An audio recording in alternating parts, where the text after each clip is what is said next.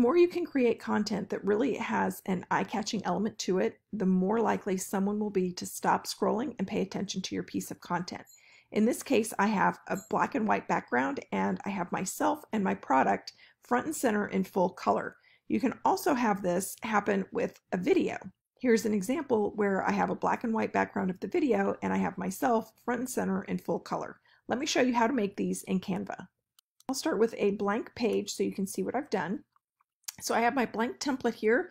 So whether you go to uploads, if you already have it there, or perhaps you have some folders already saved, wherever you have your image, go ahead and pull that image in in full color, get it to the size that you want, and then before you do anything else, click on these three dots and duplicate the image. Now you have two images of the exact same size. We're going to take one of these images, we'll go to Edit Image and go to the Duotone area and simply scroll down to a black and white image. And now we have one image that's going to be black and white and one image that's going to be color. So we're going to send the black and white image to the back, making sure that you aren't changing any of the sizes.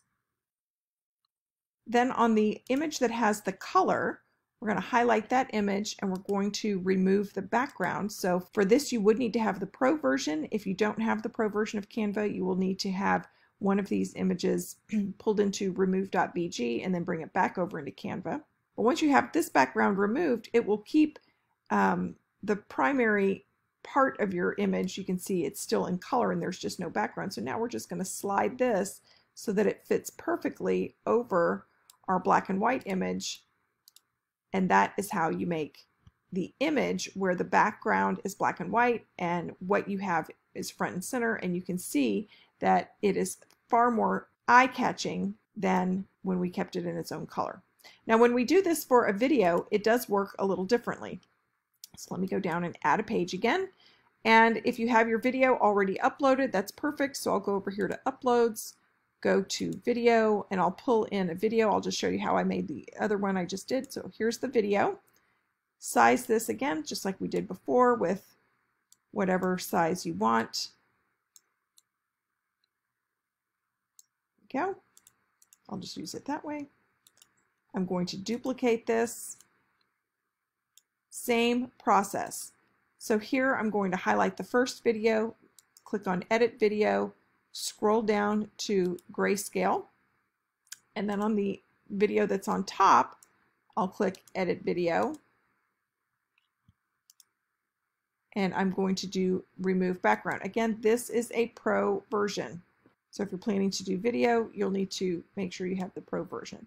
So you can see though, when I put these two together, you can't play them independently. They all need to play at the same time. It's really hard to preview this um, in Canva.